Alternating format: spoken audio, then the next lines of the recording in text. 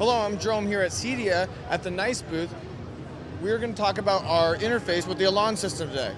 So this is our interface across the board for all of our products, allowing us to do all the home automation we can.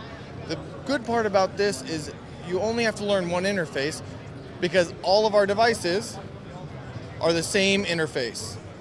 So you don't have to learn any extras. So across the phone or the touchscreen, it's all the same.